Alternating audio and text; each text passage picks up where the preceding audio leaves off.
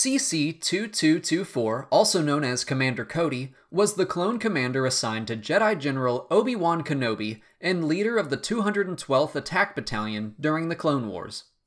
Like all clone soldiers, Cody began his life on Kamino, where he was selected for special training. During this time, he met and befriended Rex. His service under General Kenobi led to his promotion to commander. Cody and Kenobi developed a strong bond of trust and friendship over the years, but when Cody was commanded to execute Order 66, he did not hesitate to open fire on his former friend, but failed to kill him.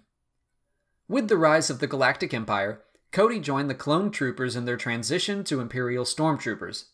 As his clone brothers began to decline and the army shifted to enlisted soldiers, Cody frequently expressed disappointment with his non clone troopers. As the clone troopers were occasionally thought by their superiors to be inferior and expendable, Cody held the same opinion of his Imperial battalion. That's it for today. Please subscribe, like, and share to see new Star Wars videos every weekday.